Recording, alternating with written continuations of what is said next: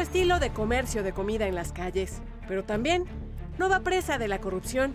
Muy al estilo gringo, estos camiones denominados food trucks ofrecen alimentos de manera rápida.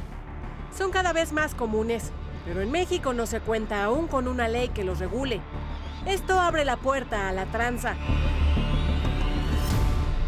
Primero que nada nos piden el permiso para laborar, ¿no? Nos piden eh, que quién fue la persona que nos autorizó este, ponernos aquí, que no podemos trabajar, este, que no podemos ocupar las vías para, para trabajar.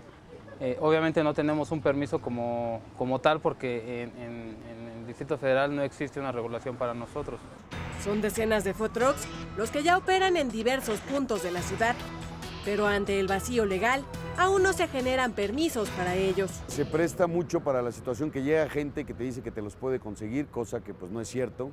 O sea, porque realmente si tú llegas a cualquier delegación a quererlo sacar, pues te dicen que no hay, que no existe. Entonces sí llegan a haber personas por ahí que se te acercan y te dicen, pues yo te puedo ayudar. Obviamente, pues bueno, pues bajo una cierta cantidad de dinero. Quienes buscan sacar raja de la situación son funcionarios delegacionales, pero también líderes del comercio ambulante. Se acercan y te dicen, oye, es que tú no puedes trabajar aquí porque pues esta zona nos pertenece y nosotros somos los que regulamos, o sea, tú como con quién estás o con qué líder. Ellos se agruparon en la Asociación Mexicana de Food Trucks y pugnan porque ese sector sea regulado. Quieren trabajar legal y libremente en las calles y evitar abusos. Abiertamente no te dicen, ¿no? O sea, oye, te voy a cobrar tanto por estar aquí o te voy a decir tanto, obviamente no. Siempre es con el afán de, de decirte, no tienes permiso, no puedes trabajar.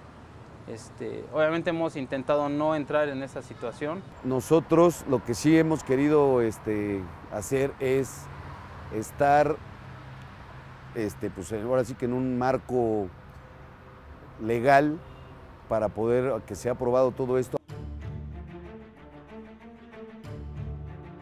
Tania Gómez Pulido, Proyecto 40.